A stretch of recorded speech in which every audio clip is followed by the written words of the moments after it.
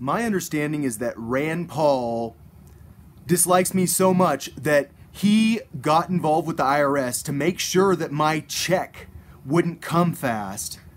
And that's a difficult thing to do because you have to go and like make sure that you track down this check.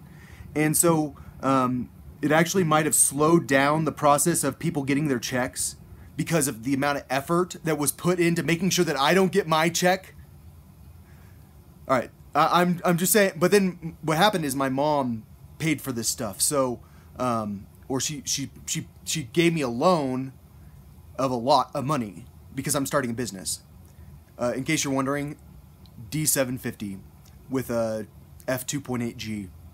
Yeah, um, this camera is pretty serious that I bought.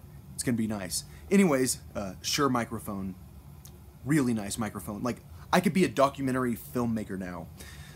All right, so um, what I'm actually talking about is whether or not there are Republicans that are for Joe Biden secretly. And, um, but there are Democrats that are for Joe Biden too, because I guess there's the whole sad story the Illuminati murdered Joe Biden's son. And um, I've known Joe Biden for a long time, and Joe Biden is is nice. And um, but here's the thing: um, just because someone's nice doesn't mean they're not like the biggest Joe of all time. And um, are all Joes, no matter how nice they are, still not nice and nice at the same time? Yes, obviously. I think all people are not nice and nice at the same time. A Joe is like a average Joe. And Joe Biden is an average Joe with an extreme amount of ambition and extreme good looks. And he has a he, he has he has tact. He's very he's very um, tactful in what he does. He's very cautious, but he's also big on political maneuvering because um, he will make sure that he gets um, the backing that will make it look like well everyone agrees Joe Biden's the best.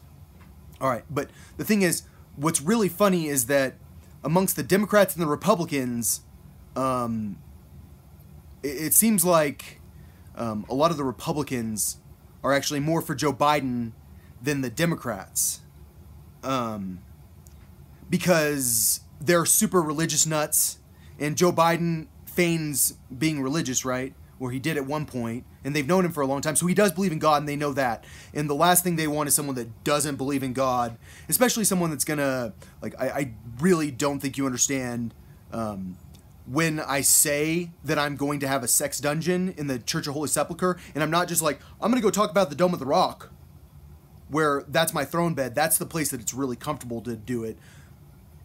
The, the Church of Holy Sepulchre is where we have Lizzie Grant walk down the Via Dolorosa once a year, and then she goes to the Church of Holy Sepulchre to go, I don't know, it, it's, it's some sort of um, religious ritual in, in Jerusalem in the future. Um, but I guess theoretically, Miley could have that done to her too, both of them. Um, I don't know. All I'm saying is the reason that the Church of Holy Sepulchre has to have a sex dungeon is because we need to change this religion. And um, what, what like th- that religion needs to lose. Christianity needs to lose. Islam needs to lose, and that's why it's not like I'm going to be in charge. No, I'm going to have a sex dungeon there. And I, I really don't think you understand. No matter what you think, there will be a day when I have a sex dungeon in the Church of Holy Sepulchre. No matter how offensive it is. And it's not about having a sex dungeon, but it is because it's freaking awesome. Because it's like, no, it doesn't matter how rich you are. You can't do that shit. That's that's about power. But is that why I'm doing it? Is that why I have to have a throne bed in the Dome of the Rock? The throne bed is actually about art combined with like a big ass sick throne in that building and plus it's like a great place to go get freaky especially because i can say what the hours are and also i can say no one's allowed there this this week or whatever and i can have parties there it's sick i mean people can sit on my throne bed i don't care we'll change the sheets anyways so um, not everyone can sit, uh, sit on it. You have to be worthy. you have to prove yourself worthy of being on my throne bed. All right, so um, the throne bed is not about the th- the throne bed. It's about saying, um, can you see it now?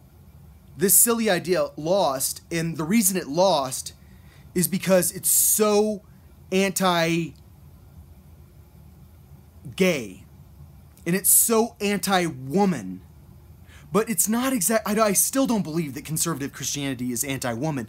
I believe that it's we know what's best for you, woman. That's that's what real like super conservative Christian Christians believe. Like what's best for you is to not be a productive not to be as productive of a member of society as you could be.